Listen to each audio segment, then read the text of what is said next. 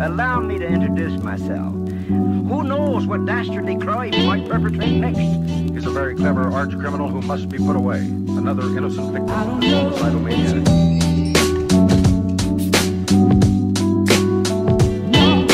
So the uh, pilot missed the runway, so we're going around again. This is an absolute treat. I get to see New York at its finest.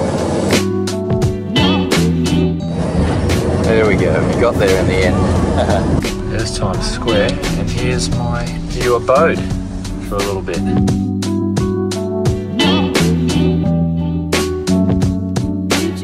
A lot of people always ask me, what's the view like through the Swannies? Well, you're about to find out here at Times Square. We're going to put these Swannies to the test.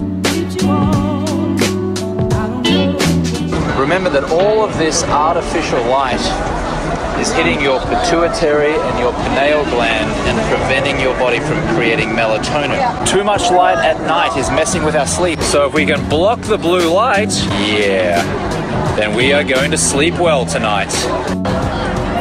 These are called Swannies blue light blocking glasses. We're doing some uh, filming in Times Square and you like them, Statue of Liberty? Yeah. I Yeah. like the glasses. Oh, it was a good dinner too with the lads. We smashed it. And then we got some cool photos in the photo booth. We're at the Standard now, downtown the meatpacking district of New York.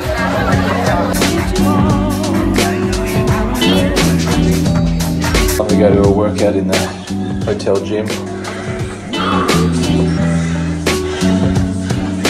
998, 999, a thousand. Oh, oh, feel the burn. Don't know if you saw that, but I did so many. I just ran into a mate of mine on the street. Like a derelict. Yeah, yeah, yeah. And then he yelled out to me, didn't you? Yeah, because I thought he was like looking homeless. I, I was going to offer him a cup of coffee. Sunset here on the West Side Highway of New York.